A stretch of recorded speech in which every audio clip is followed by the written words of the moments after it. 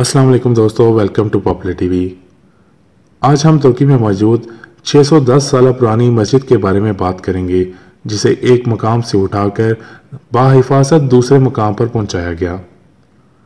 ترکی میں زیر آب آنے کے خدشے کے پیش نظر قدیم مسجد کو جدید ٹیکنالوجی کے ذریعے محفوظ مقام پر منتقل کر دیا گیا۔ چھتالیس سو ٹن وزنی تاریخی مسجد ترکی کے جس علاقے میں واقع تھی وہاں ڈیم تعمیر کیا جا رہا ہے۔ حسن کیفہ میں دریائے دجلہ کے قریب واقع 610 سال قدیم ایک تاریخی مسجد جامعہ ایوبی بھی ڈیم بھرنے کے بعد زیر آب آ جاتی۔ اس تاریخی ورثے کو بچانے کے لیے بہت غور و حوص کے بعد سلطان محمد فاتح کے جانشین اس نتیجے پر پہنچے کہ مسجد کی پوری عمارت کو پلروں سمیت محفوظ طریقے سے دوسری جگہ منتقل کر دیا جائے گا۔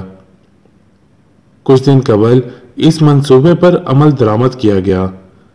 جامعہ ایوبی کو دیو ہیکل کنٹینروں پر لدا گیا۔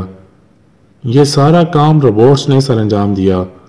بعد ازاں اس مسجد کو تین حصوں میں تقسیم کر کے دو ہزار ستارہ میں تعمیر ہونے والے park Hasankeyf new cultural park field منتقل کر دیا گیا۔ خانہ خدا سے محبت کرنے والے ترکوں نے یہ انوکھا کارنامہ سر انجام دے کر اپنی سنہری تاریخ کو مزید اجاگر کیا۔ مسجد کی عمارت کو تین حصوں میں تقسیم کیا گیا۔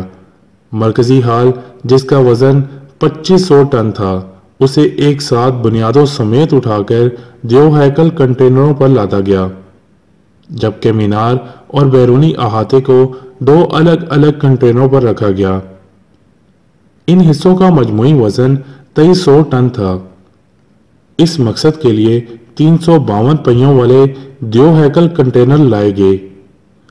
پہلے عمارت کی چاروں جانب گہری کھدائی کر کے اسے جڑوں تک خالی کر دیا گیا۔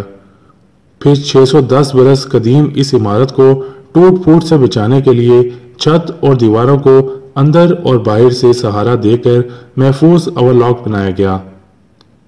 پھر ہیوی مشینری کے ذریعے اسے بنیادوں سمیت کنٹینروں پر رکھا گیا۔ یہ کام چونکہ انتہائی پاورفل روبوٹس نے سر انجام دیا، اس لیے مسجد کی قدیم عمارت مکمل طور پر محفوظ رہی۔ تقریباً دو گھنٹے بعد اسے مذکورہ پارک پہنچا دیا گیا۔ یہ پارک مسجد کی پرانی جگہ سے تقریباً ایک میل کے فاصلے پر واقع ہے۔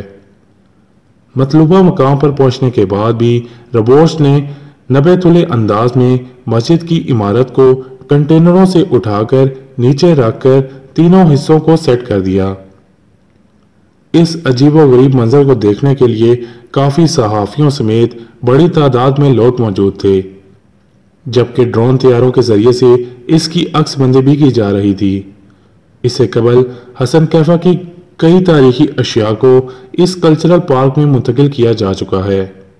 تاہم عالمی میڈیا نے تاریخی مسجد کی جو ہیکل عمارت کی منتقلی کو انوکھا اقدام قرار دے کر اس کی بھرپور تشہیر کی ہے۔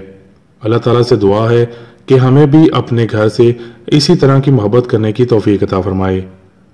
آپ سے ملاقات ہوگی میری اگلی ویڈیو میں۔ تب تک کے لیے اللہ حافظ۔